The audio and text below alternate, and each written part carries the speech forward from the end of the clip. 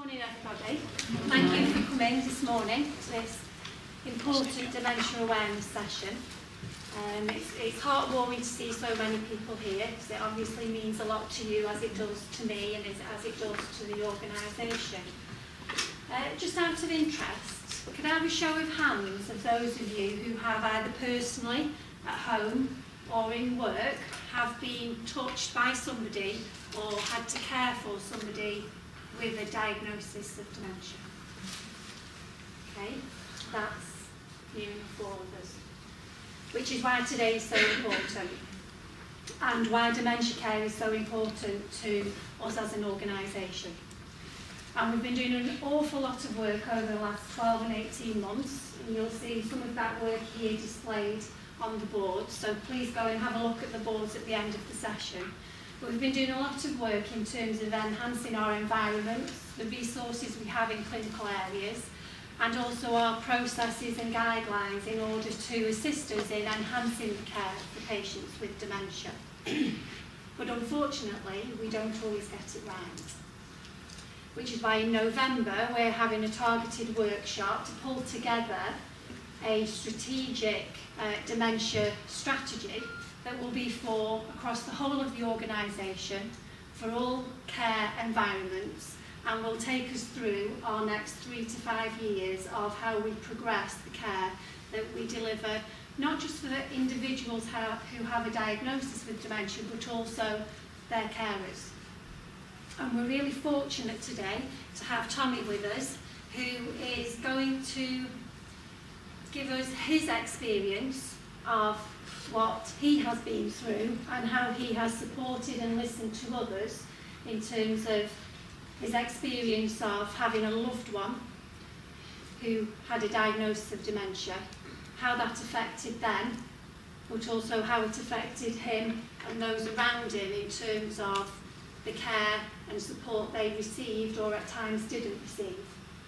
So what I want you all to do as you listen to Tommy's story is to think about one thing, that when you leave here this morning, that you're going to go away and change in terms of the care you deliver, the support you give to a loved one who, who may have a diagnosis of dementia, or it may be somebody like me who supports somebody in my street who has a diagnosis of dementia.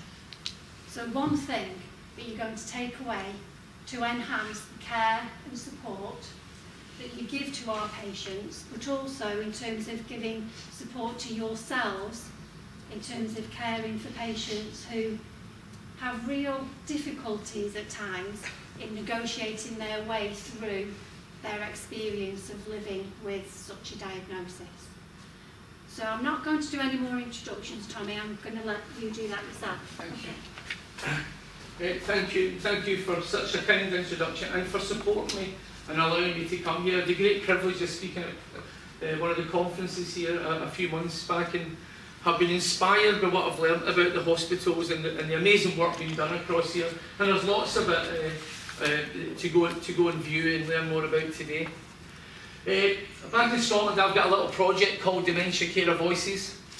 Uh, based at the Alliance Scotland and it's, it's based on to harness the work that I started from my bedroom when I was caring for my mum and I report three times a year to the Scottish Government. I'm not going to speak about the ins and outs of that. I have little booklets if anybody wants to learn more about the project. And I just want to reiterate this morning that I know by the numbers that over 840,000 people that we know of in the UK have a diagnosis of dementia. That people in this room, along with the professional capacity, will have a family member, a neighbour or a friend who is living with or has lived with dementia. And if anybody's uncomfortable with anything that I have to say today and needs a little minute, absolutely. I find it hard to listen to anyone else speaking about their mum or dad or their son or their daughter because I immediately think of my own and quite often I've had to leave a room. But it feels really important to me to have this opportunity to tell you and I hope it's important to you. Before I start, I'm going to show a very, very short slideshow. Uh, I'm on a tour just now doing 360 talks in 14 months around the UK in hospitals and universities and colleges and council buildings and community centres. Anywhere that anybody's kind enough to invite me and absolutely support me to allow me to get there. And I've been asking everybody that we meet along the way to think of one little thing that they, something they're doing that they might want to do more of, something they're doing they want to share with their colleagues to encourage them to do it, or something they might think that they should maybe change. And as of yesterday, in fact, as of today, 7,000 nearly hospitals, colleges, universities, and individuals have made a wee pledge. I'm going to show you a very short slideshow. I, we just made it the other day, so I'm going to show it about about. And this film was made, uh, and singing in it is 40 people living with dementia. Uh, uh, uh, are singing the song that you'll hear in this, and it's just to set a little bit of the scene about you can make a difference in the pledges and what we're doing. And after that, I'll speak to you about my beautiful and wonderful mum, Joan.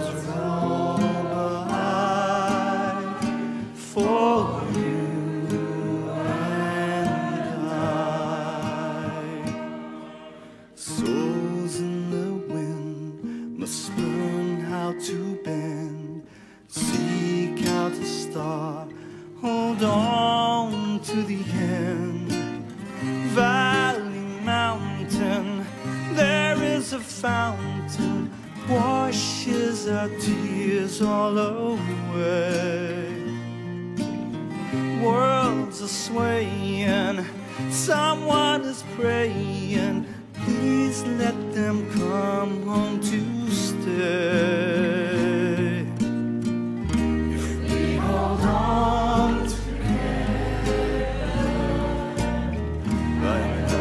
dreams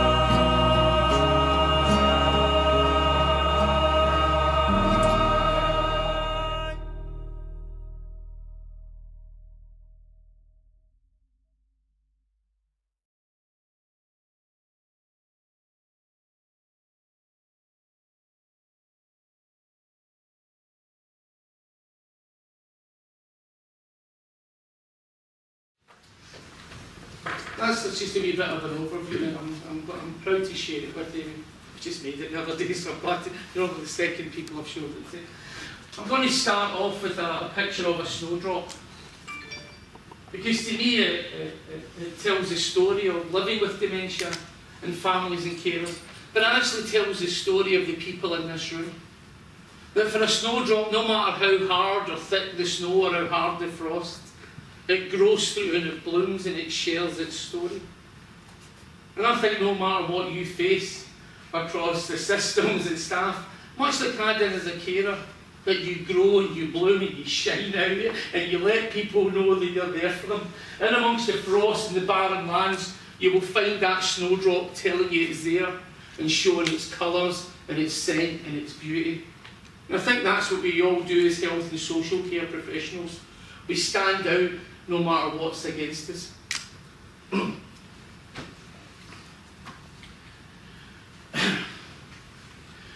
so my name's Thomas Whitelaw, and I was a full-time carer for my kind and beautiful and magnificent mum Joan. My mum passed away on the 22nd of September 2012, and my mum had vascular dementia. And I cared for my mum at home from 2007 until my mum passed away.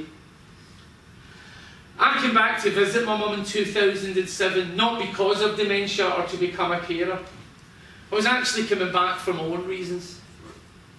For the 20 years previous to that, I worked in music and I travelled pretty much 10, 11, sometimes 12 months of the year. And I was getting a bit burnt out and a bit disillusioned and making quite a few mistakes. And they go hand in hand when you're burnt out and disillusioned with what you're doing, it all too often equals mistakes. And that was one of the reasons I was going back to Glasgow to see my mum. And the other, I think, was the same reason that most sons or daughters go back to their mum or dad if they're still there. My relationship had broken down. In amongst being burnt out and disillusioned and making all these mistakes, I'd messed up another relationship. But that's the first place you go to. No matter how young or old you may be, you go back to your mum or dad if they're still there. Because they make it better. And they take time to listen and they help you understand the mistakes you may be making and help you get back onto the path you may have stumbled from. That's what our mums and dads do. And that's what I was doing in 2007, going back for my mum to do what she'd done so many times in my life before put her arms around me and help make it better. But before coming back and from a distance, people had started to get in touch and make contact with me to say that they were becoming concerned about my mum, or in their own words, my mum's behaviour. But I just thought maybe my mum's maybe getting a wee bit older, maybe she doesn't want to go to some of the places she used to go to, or maybe she doesn't feel like doing some of the things she used to do. But in coming back, things had changed. And they were going to change continually and consistently for the next five and a half years. And when I first came back, it was still about and for me. And I, I wanted to go back home, and I'd, I'd made a decision to take two or three, or maybe even four months off and spend some time in that house I grew up in and sit in that couch I felt safe in and be in those arms I felt understood in. And I thought I'll put some things in place and find out what people's concerns are about my mum. And put better things in place and keep a better eye on my mum, even from a distance, when I go back to work. But those three months became six months, became nine months, and then a year. And within that year, my mum was diagnosed with vascular dementia. A really lonely diagnosis that set the theme and the standard for much of what lay ahead with neither of us under, quite understanding what was happening within, around, and beside us, and both becoming quite isolated from the lives we both once knew. People who used to phone my mum didn't phone her so often. And people who used to pop round for a cup of tea stopped popping round for a cup of tea. And there was two of us becoming lost, lonely and scared. In fact, it took other health issues to get a diagnosis. In amongst that year that almost disappeared and, and knocked us off our feet at the same time, and, and, and this fight and, and the fear, a fear that was a constant companion in my mum's eyes of all these changes that were happening within and to the environment around her. And I didn't know what it was then because I was scared myself. But it took other health issues for my mum to be taken into hospital late one night. And after 10 days, as my mum was being discharged, someone sat us down very, very briefly and explained that my mum had vascular dementia and told us that someone would be in touch very, very soon. But no one was ever really in touch. And that started the loneliness that designed the next stage of our lives. And within that year, finding my mum writing her name on her arm to remind her who she was. And finding scraps of paper in her pocket and under her pillow with my name on it to remind her who the other person in our own house was. There was two of us becoming lost, lonely and scared. And one night late when my mum was going to bed at the end roughly of that first year, she grabbed my arm really tightly and told me how scared she felt inside. And asked me in her own words to please don't put me into a care home. I want to stay here. And I tried to make my mum a promise that night. A promise that's made to us by our governments, by health boards, by local authorities, by the communities that we live in. That to be cared for, for as long as possible, in our own homes is the best place to be cared for. And if I was married with three children in a different circumstances or a different situation, my answer may have been different. But I can only answer the question my mum asked me that night. And it was only a year before it that I came back for my mum to put her arms around me. And I didn't want to walk away from my mum the first time in her life that she asked me to try and put my arms around her. But after the second and the third year, as dementia was doing everything in its power to affect my mum's greatness, never to me or in my heart or in my eyes, but to affect her greatness, to affect her being recognised anymore as Joan Whitelaw. Too often in circumstances and situations we've been in many times in life before. Now hearing people describe her as the wee woman with dementia. I would hear things like, oh, that's the wee woman with dementia here, or the wee woman in that bed, she, she has dementia, or there is the wee woman with dementia. But that wee woman had a name and a life and a love story within her and standing right by her side. And becoming isolated from a community that my mum was born in and grew up in and went to school in and got her first job in and fell in love in and get married in and brought her children up in. There was two of us hurtling towards the crisis of our lives. In fact, for me, for the last of that third year, I'd wake up in the morning most days and sit on the edge of my bed and just sit and cry and think, how are we going to do it? How are we going to make it through today? If I can just keep my mum safe and we can make it to bedtime tonight, then we've got a chance of making it through tomorrow. But that's not living. That's not living for anyone in this room, this hospital, our society, our community, to wake up in the morning and think, tonight bedtime's enough. And I got up one day and couldn't do it. Tomorrow felt so far away that we were never going to reach it or touch it or experience it or be included in it or be part of it. We were both absolutely on our knees. And I don't know if that's because I didn't know how to ask for help or who to ask for help, or the people we were trying to ask for help weren't quite listening. But a combination of all those things left us feeling helpless and lost. And I took my mum by her hand that day to go and try and get some help. And we went to a social work department in a health centre. And I cried the whole way there on the bus because I had no clue what I was going to do that day. And I cried walking from the bus to the health centre and cried walking through the front doors to the reception desk. And asked if someone could please get my mum the help she needed, she deserved, and as families we are promised. But I was told you can't just walk in here. You have to make an appointment. If you look behind you, all those people had the courtesy and the decency to make an appointment before they came. And I stood there crying and asked again if they could please help us. I was then handed a little post-it sticker with an 0800 number on it and told if I really wanted help I should go home and call this number and make an appointment to see someone. Someone's unique and remarkable life story designed on a little post-it sticker with seven or eight numbers on it. And we walked out there that day with less chance and less hope and less belief and less understanding and absolutely less kindness than we walked in. And that's not why we build them.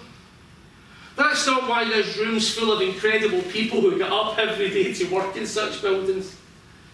I hope we build them to be understanding and take time to listen. And at every occasion, wrap it up with kindness. It's really important to be kind to the people we live beside, we work beside, we sit in this room beside, and that every one of us has made a promise that we'll get up every day and care beside. I think kindness is the key. And we go home that day and I got my mum settled down and into bed and sat in her sitting room in absolute despair. Out of the good days and the bad days, this was a dreadful day. Of the days we smiled, or the days we cried, or the days we felt safe, or the nights we felt so scared. This was just another dreadful day of trying to understand how to care for my mum and get her treated with kindness and dignity and respect at every occasion. And I really didn't know what to do. But I knew the next thing would be that my mum would get put into care. Not because it was person centred and not because we were included in the discussion or the decision, not even because it would be the best thing for Joan Whitelaw, but because as a family we had crumbled and fallen apart. I didn't want it to be the end of the promise I made her three years before that I would care for her in her own house. I just wanted to be a good son. I just wanted to be a good carer. I wanted to care for my mum in the way she had cared for me every time, every minute, every question I ever asked her or needed her, she was there. And one of the things I started doing was writing a wee blog. And I felt better. At night I would write, when my mum went to bed, I would write about the things we smiled at or we cried at, or the things that got us through the day, or the things that made the day difficult to get through, or the things we understood that helped make this, this better, or the things we didn't understand that left us on the floor. And on my blog I made a promise that if I could find a week's respite in six or seven months' time, I would walk round Scotland for a week. I wanted to find out if it was just me that couldn't do this. I wanted to find out if it just was me that wasn't able to, or couldn't, or I wasn't built for it, or didn't understand it. And I did my walk not to raise money, but to ask people to write to me and share their experiences, both good or bad, of when someone they loved was diagnosed with dementia. And if people would take the time to write to me, I would walk straight to the Scottish Parliament and ask them to read them. Not as a protest or as a petition, but absolutely as a cry for help. And inside I thought maybe I'll open one of those letters that will show me how to do this. Maybe I'll read one of those letters that'll help me be a better son or a better carer, but always get my mum, teach me how to get my mum treated with kindness and dignity every time she meets someone else. And people started to write to me by the hundreds and the hundreds and the hundreds and now by the thousands. From Scotland, from England, from Wales, from Australia, from North America, from all around the world. And every single letter that I've received has the word love in it. It's about love. It's about the day two people met and first set their eyes upon each other and fell in love for the rest of their lives. It's about the children they had, the successes they reached, and the failures that they were all trying to hold at bay. But the word love is outmatched and outnumbered by the word loneliness. The word loneliness appears more often in the letters, and the word understanding appears more often. Uh, uh, I don't understand what's happening to me, or we as a family, we don't understand what's happening to us anymore, or, or people that we meet People with really good intentions don't seem to understand who we are, how we feel, who we have been, and who, with the right support and encouragement, we still have the opportunity to be. I normally show a little film about this where you'll meet some of the incredible people, and if we've got time, I'll show it at the end. You'll get to meet some of the incredible people whose houses I sat in who, who told me their story. That part of my campaign that I started in my bedroom, which is still ongoing through the project Dementia Carer Voices, was called Letters, Life and Love Stories. And people still write to us all the time on most days. My campaign for this year is called You Can Make a Difference. I'm doing these 360 talks in 14 months and just asking everybody what might they do. Because that's the story within the letters. Over above policies and strategies and booklets and my leaflets I'll be handing out, it's people who change lives. It's people who make the letters the most beautiful letter to read. You read that letter and you think, I'm so glad you met that nurse today, that care assistant, that volunteer. I'm so glad it was that person that sat by your bed. It's people, when you read it, it makes your heart smile. You think, I'm so glad it was that person who knocked on and came through your front door or you spoke to on the phone. But it's also people that make it the most dreadful letter to read.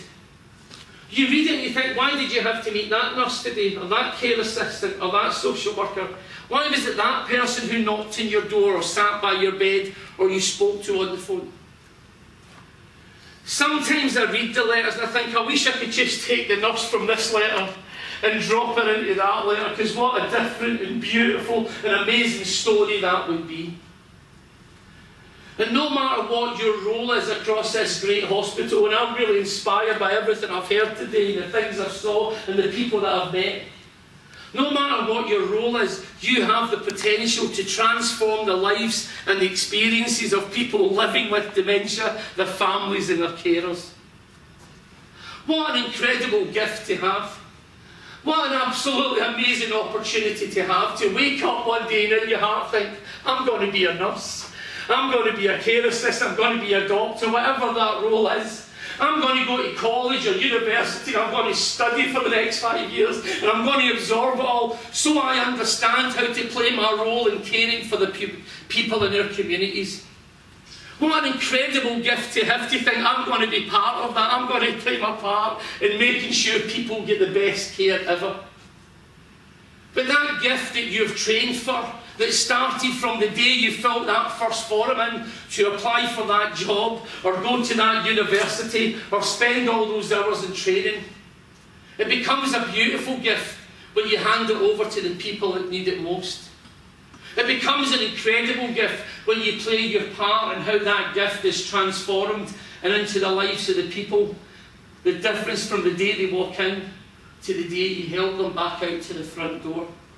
That's where the gift that you have becomes the most beautiful gift of all. And I celebrate every one of you for getting up every day to play your part in that for the lives of the people who live here. And that was the same for me. It was always about people. And it's the story of the letters. Two sisters got in touch with me one day and asked if I could come and visit them. But the story was so dreadful, could I come and collect it in person? They didn't want to just post it or email it to me. And I said that I would. And I got the train through to meet them one day and I walked up and I knocked on the front door. And when the door opened, the first sister was so angry and agitated and furious that as the door opened, it felt as if she was ready for a fight. But she was really none of those things. She was just really scared of everything that was happening to her mum. And the other sister couldn't lift her head up. And when she lifted her head up, you didn't have to ask her a single question. You only had to look in her eyes and you could see her heart was absolutely broken. In fact, I sat in her house for an hour and a half that day, and the second sister never said a word. She cried from the minute I walked in to the second I left, and I had no clue what to say or what to do that day. And I sat down with them at their kitchen table. And on their kitchen table was this mass of correspondence of letter after letter after letter of fights and arguments and disagreements with the hospital about the care or lack of care for someone's mum, for their mum. 157 letters of an argument in total. And I don't think it takes 157 letters to care for someone. I don't think it takes 157 letters to get it right or wrong. I think it just takes for you and I to care for and about each other.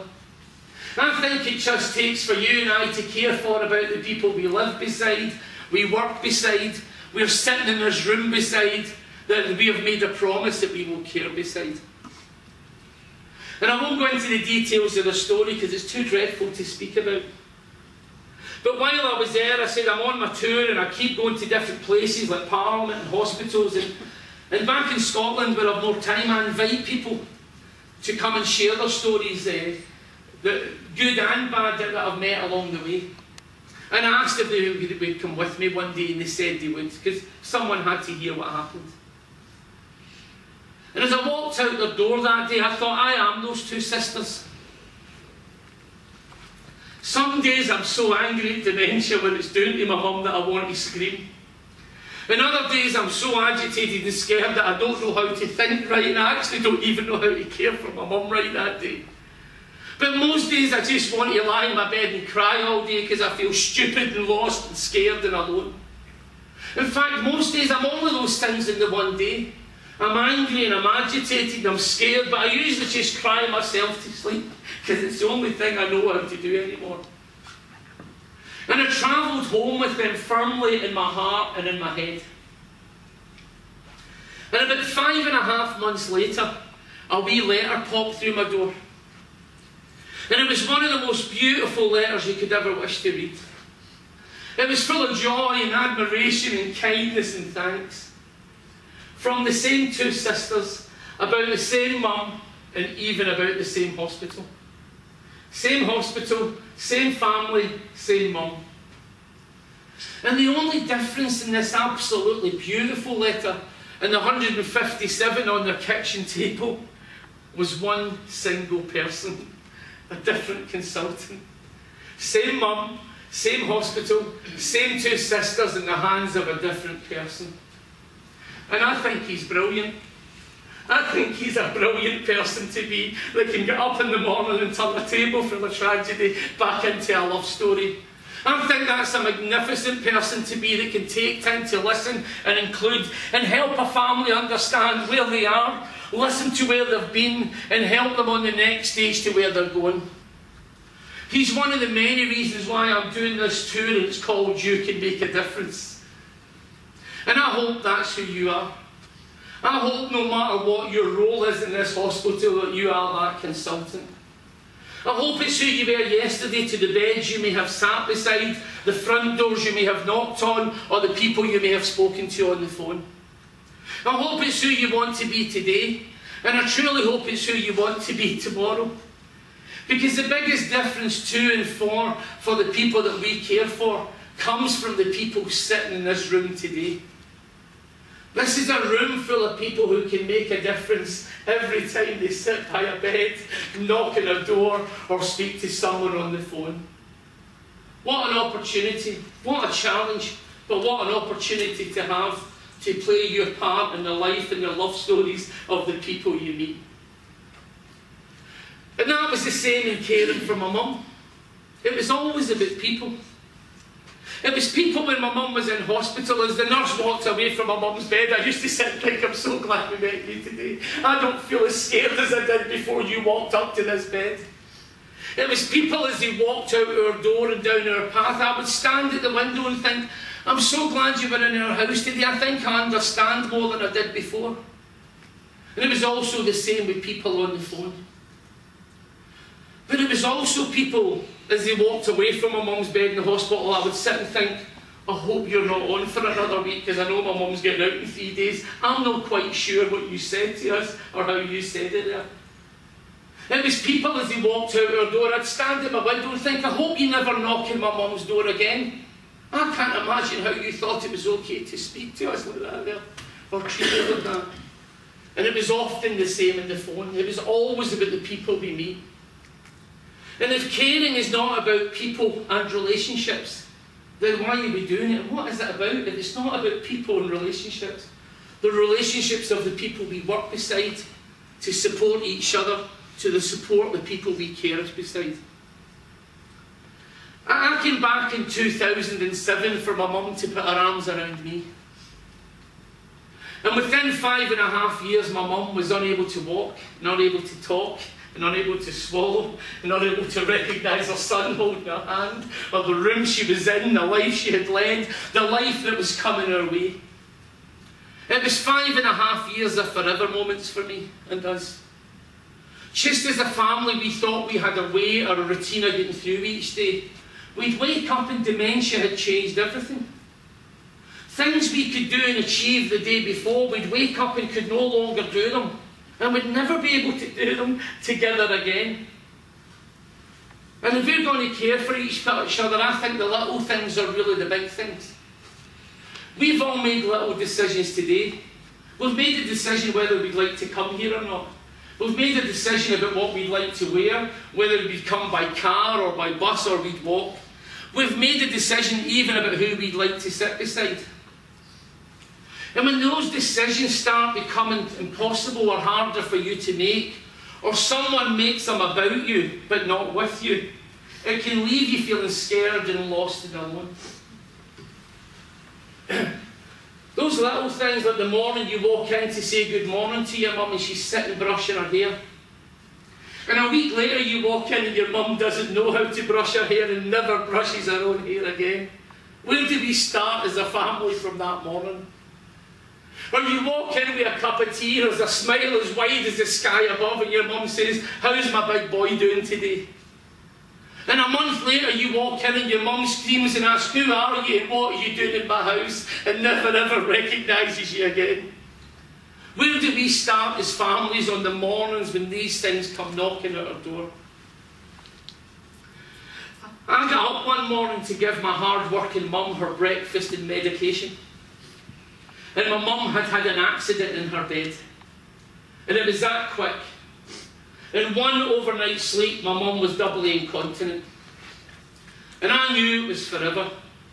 I'd spent nearly five years watching things always be forever. And my mum never ever asked to go to the toilet again. And before that, we stumbled through it. When my mum used to go to the bathroom at first, I would sit with my back against the bathroom door and talk her through what to do. And when she could no longer do that by herself, I would go in with her and help her do the toilet, but always looking in the other direction so I wouldn't see anything she wouldn't like me to see. When my mum started needing more help, I used to put her clothes out in the order she wore them, so it would make it easier for her to get dressed. And mean, she could no longer do that, I would help her get dressed and undressed, but always looking in the other direction so I wouldn't see her naked. Because how would my mum feel about that? How would my mum feel about me seeing her in such a private and intimate and personal position? In fact, how would any of us in this room feel about that? Someone just coming up and undressing us?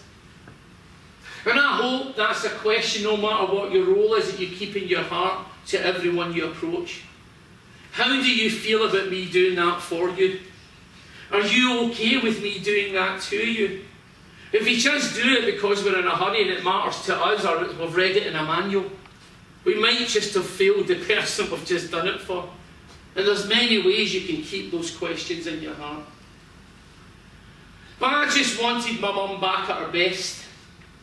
So all she ever tried to do all her life is get up and work hard and do the best she could for her family and her friends or anyone that needed help. And the other thing I knew that day was that my mum shouldn't sit like that for one single second. No person, whether in hospital or residential care or being cared for by their own son, should be allowed to sit like that for a second. There's no kindness, there's no dignity, there's no respect. It's against our basic human rights. The standard we walk past is the standard that we accept. And this is a room full of people that never have to walk past. This is a room full of people who have a voice, for the people who no longer have their own. And I ask you to use it every time you can, and any time you think, and every time you think you should. Be that voice. And I really didn't know what to do that day.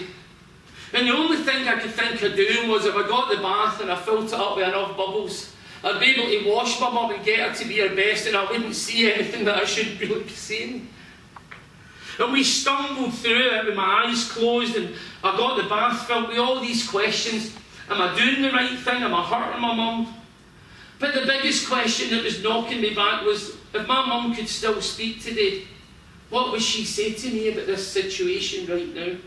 How would she feel about it? Then I got my mum in the bath and I got her favourite shampoo that day because I wanted her hair to smell beautiful. I wanted us to win and not dementia to keep winning again. And I knew that if my mum could reach her own hand out, she'd have picked her favourite shampoo that day. When I first came back to stay with my mum and we used to go to the shops together, she would fill her basket up with all these things she'd been putting in it for the last 20 years because they were really important to her. Her favourite shampoo, her favourite cereal, her favourite deodorant, her favourite tops, her favourite perfumes. These were part of the story of her life. And when my mum could no longer go to the shops and I had to go myself, I made sure I picked them up every single week because they mattered to her. They were part of her story, including that shampoo. And through the tears and all these questions, I got my mum out of the bath and I got her hair the way she liked it, and her nice pyjamas on, and, and got her all settled down, and once again sat in her sitting room in absolute despair. Out of the good and the bad days, this was another dreadful day of trying to figure out Am I able to do this? Can we do this? Is it right I'm doing it? What would my mum think about me doing it? And I actually phoned up later that day to try and get some help quickly. And I phoned up for an incontinence nurse. But I was told it's June and two are off sick and are on holiday and you're not the only person who needs help today. And as a society, where do we fit the word dignity into such a conversation? with a husband or a wife or a son or a daughter, when something such as that comes knocking as quickly at your door. I was then told if we wanted help sooner, I should call at 8 o'clock every morning and complain, and we'd get pushed up the queue. But I refused to do that because my mum wasn't a cheat. And I had to base my decisions on the life my mum led, the person she was, because after all, it's my mum's life we're speaking about. She'd have been dead upset with me if she thought that we jumped to queue and, and got help before someone else. She wouldn't have liked me for it. So I didn't phone every day at 8 o'clock. But that resulted in us waiting day after day after day, and I could be here for a while for someone to come. And every time my mum had an accident, morning, noon, or night, we'd shoot through the same routine of the bubbles and the tears and the questions. In fact, after 12 or 13 days, a courier arrived with a big box this size of pads. And I had no clue how to put them on or take them off. And it actually didn't matter because they were two sizes too big when I finally figured it out. And I phoned the GP after a few weeks to tell him that nobody had arrived yet and we were, we were still waiting. And I could also see that my mum was getting a bit sore. She wasn't confident. My mum had a right to be safe no matter who was looking after her. That's her basic human right. It starts there. We keep people safe. And at first he tried to tell me the same story about a queue and people being off, and I told him I didn't want to hear it. Was there just one person that could pass by and show me that what I was doing was okay? I didn't even want them to come and do it anymore. I decided and accepted that I would do this for my mum for the last months of her life. And he said he would get a district nurse to come out on the Thursday at one o'clock. And I knew she was coming at one o'clock, and I thought, I'm going to get my mum at half twelve already in the bath. I want my mum to be beautiful for this nurse coming. When my mum went out or to the doctors or to the hospital, when I was a wee boy, I get flung in the bath before we went to the doctors or the hospital. Out of respect for the person who was going to examine you, but also for yourself. But I also really wanted, when that district nurse leaned over to undress my mum, that she would smell her beautiful hair. And she would think, every time I meet you, Joan, your hair must smell beautiful. And every time I walk away from your bedside, your hair must smell beautiful.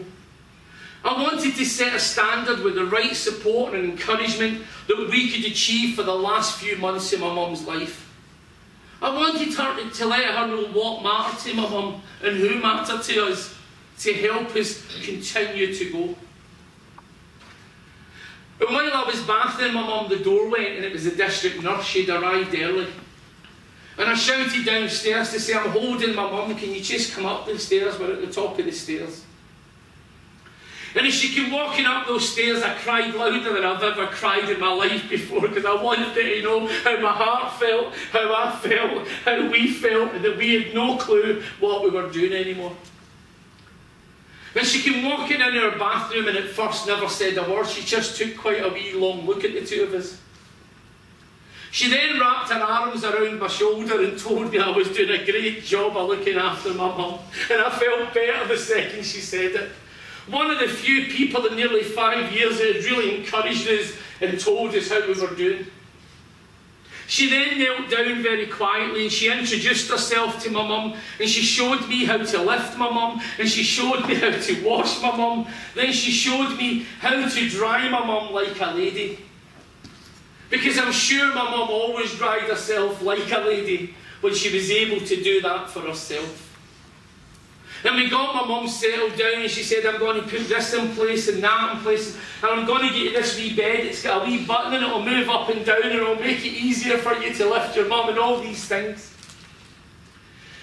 And 45 minutes later, as she was halfway down her stairs to leave, she turned round and said, and I'm going to come here at 10 o'clock every Friday morning just to make sure the two of you are okay. One of the most beautiful sentences that Andy has ever or probably will ever say to me in my life. Because I mattered, my mum mattered, that nurse mattered, every one of us in that conversation all mattered together. And she's another reason why this tour's called You Can Make a Difference. As she came walking up those stairs, we were stumbling and crumbling and falling apart. And 45 minutes later, when she walked back down them, we were back on a path and someone was going to help us get through it. And I have to tell you something about her. She walked out of her house that day without even realising what she had just done. Because she was just being a great nurse. I think that's what great nurses do, great occupational therapists, great, great care assistants, great commissioners, great directors, great leaders, great people do.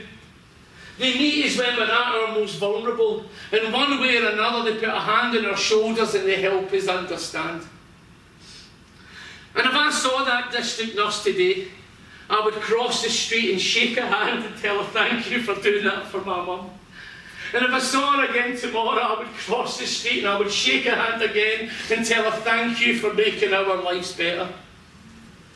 And I hope no matter what your role is at this hospital that you are that district nurse. I hope that's the part you played if you spoke to someone, if you filled in a form, if you had a conversation, but mostly all took time to listen. I hope it's who you want to be today, and I truly hope it's who you want to be tomorrow. Now, we might not always say thank you. You might walk away from our bedsides or out our front door or even off the phone and we've forgotten to say thank you because maybe our hearts are breaking because we don't know what's happening anymore. But I can promise you this when you do those little things that are really massive to the people that you meet, we will never ever forget you. You'll be in our hearts forever. So I'll just stand and say thank you to every single one of you for everything you do every day to help our mums and our dads and our sons and our daughters not fall apart. So thank you from me.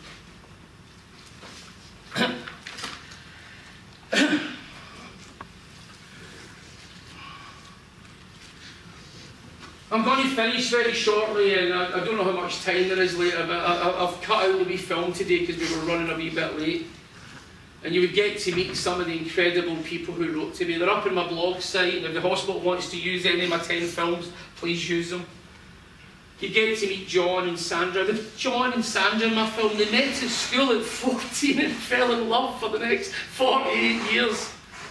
And he speaks about the day he took his wife to the care home and how his heart is broken forever. And whatever part we are playing, it's about hearts, isn't it? It's about love stories, it's about the hearts of the people that we stand beside. We have to consider them at every occasion. Everyone we meet, everyone in this room is unique and remarkable and has their own life story. And if we know nothing about it, how can we care for people? I'm going to read a very short letter. Uh, these letters come from a page to five pages to sometimes 20 pages long. And you get to know how people met and where they met, and sometimes where they went on their first date, and even on the odd occasion where they had their first kiss in the night they fell in love. You get to know how incredible their children are, and sometimes how much of a pain in the backside their children can be at times. You get to know about the holidays they went, the jobs they had, the successes, the failures, the stories. And then dementia comes along, and the next page gets harder to read. And the bit after that gets harder to read again. And sometimes the last page or the last paragraph is so hard to read because you can't quite believe it's somebody sitting in a house today feeling like that. But this is a really short letter and it's only got nine lines in it and I hope you don't mind me sharing it. I'll need to put my really bad pound glasses on that's got 14 diamonds on them. Hope they don't dazzle these cameras or screen or something. This came in the 4th of March last year. It says, Dear Tommy, I'm writing to see if there's anything can be done to help me.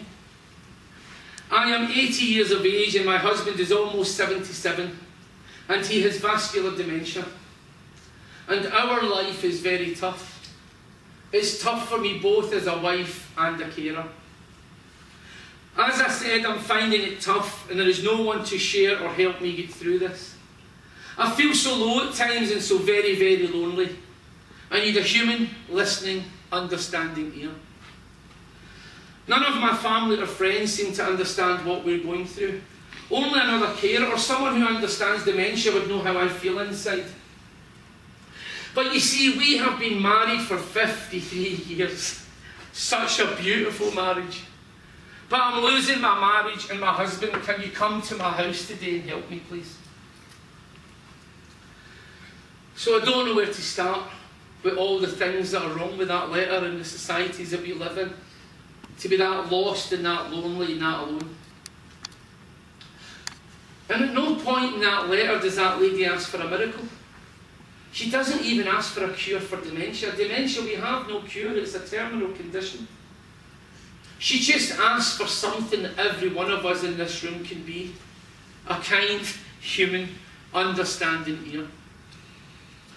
And I won't ask you to, but if I was to ask you to put your hands up just now, do you think you've met that lady in the last week, or the last fortnight, or the last month? I think most people would have to put their hands up. Do you think you will meet her this afternoon, tomorrow, or next week? I think most of you will. And if you did, did you take time to listen? Were you a kind, human, understanding ear? And if you were, keep doing it. And if you didn't, maybe you have to think about how you meet people next week and the week after. And I know who she would love to meet. She'd love to meet that consultant who went to meet those two sisters because he would help her understand. She would love that district nurse that came in my house one day because she'd put her hands around her shoulders. And I truly hope she'd love to meet every single one of you. Because after she met you, she would never have to write such a letter of loneliness again in her life. But there's something absolutely beautiful about that letter. We have been married for 53 years. I've sat in their house. The two people in that letter met 57 and a half years ago and fell in love the day they met and have been together every single day for the last 57 and a half years. And if that's not a love story, then I've never heard one. And if it's not a love story, then I've never stood and read one. And everyone you meet has a love story to tell. And the part you play can allow that love story that started 57 and a half years ago to finish as close to a love story as it possibly can. What a chance, what an opportunity, what a part to play to allow love stories to end the way they started. And I salute you for that.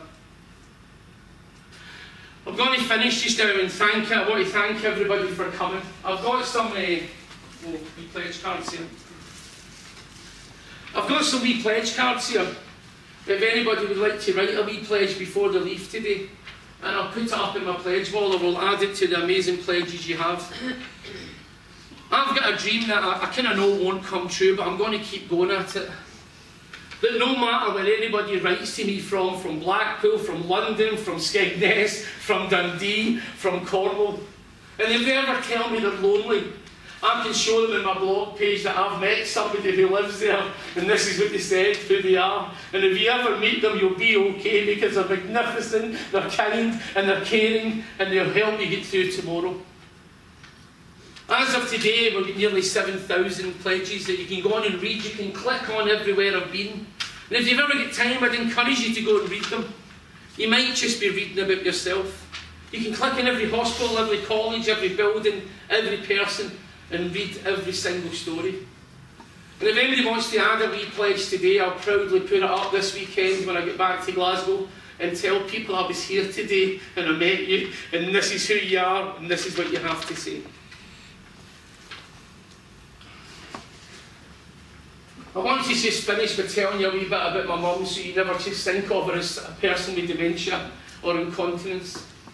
My mum was much greater than that.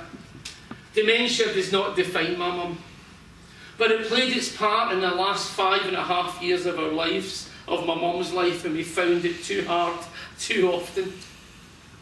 I want to tell you a wee bit about Joan Whitelaw, the person that get missed out so many times along the way that people stop seeing that person.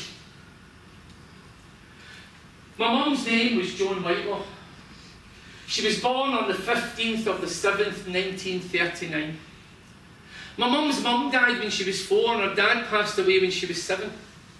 And my mum's big sister, who was quite a bit older, who went on to have eight children of her own, took my mum in and cared for her. She put her arms around her and told my mum, I'm going to care for you, I'm going to protect you, and when you're scared, I'm going to hold your hand. And if anybody ever asks me, what does caring sound like? I think that's what it sounds like. I'm going to be there for you. And if I'm near you and you're scared, I'm going to hold your hand. And that was the building blocks that made my mum the most remarkable lady. I was truly lucky to be her son. My mum couldn't stop caring for and about everyone she met. She knew how important it was. She knew what it felt like to be so young and scared and vulnerable and feeling so alone. But how good it felt when just one person said, But you're not alone. I'm going to help you through this and help you understand. That was the story of my mum's life. And my mum went out and she, she went to school. And when she left school, back in those days, most of the girls went straight to the wee factory across the road. And one of my mum's first jobs was a trainee seamstress. And I normally show my little film in the middle of my talk, and you'd have, get to, you'd have got to meet my mum. And you'd have saw a wee photo of my mum in her wedding dress in my film.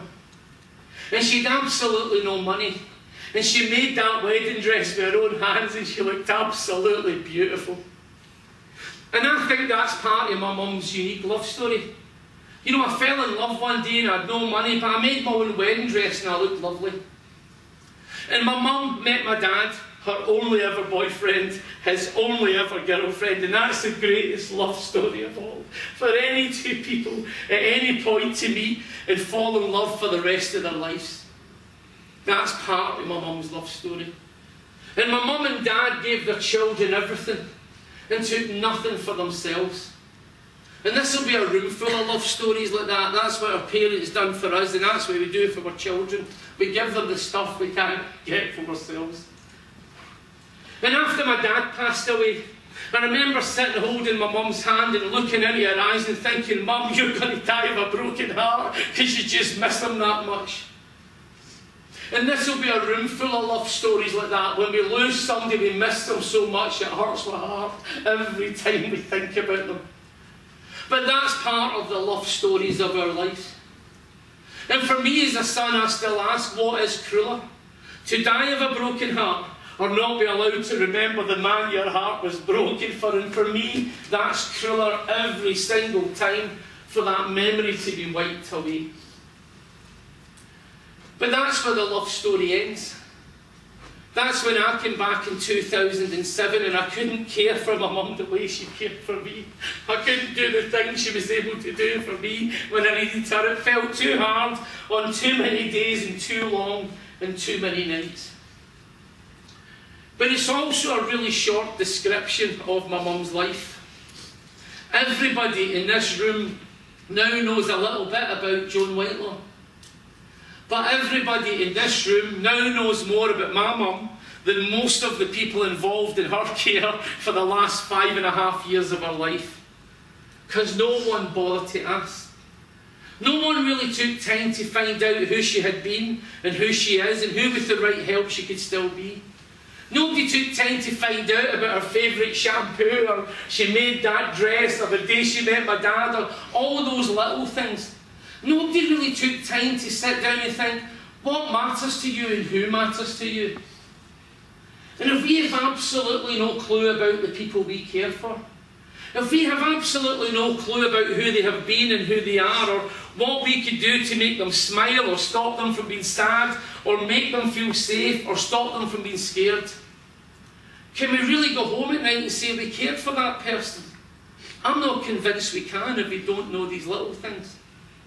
But if we do, if we take time to find out what matters and who matters, if we find out is there something I could do today to make you smile or stop you from being sad or make you feel safe or stop you from being scared or can I find out who you are so I can support you and encourage you to help you to be who you still want to be? If we do that, then we are that consultant or we are that district nurse. But more importantly, we're part of the greatest story of all. We're part of someone's love story. And every single one of us, even on a good day, needs a little bit of help to keep our love stories going. So I thank you for what you do. I thank you for being part of this amazing hospital and trust. I thank you for caring for people yesterday. I thank you for being part of caring for people today. I encourage you to get up early tomorrow and do it again. But I just ask you as a son, Find out about the life and the love stories of the people that you care for. Because if you do, there's a chance it could change your life. But I can guarantee you one thing it will give you the tools and the opportunity to change the lives of the people that you care for. Thank you very much.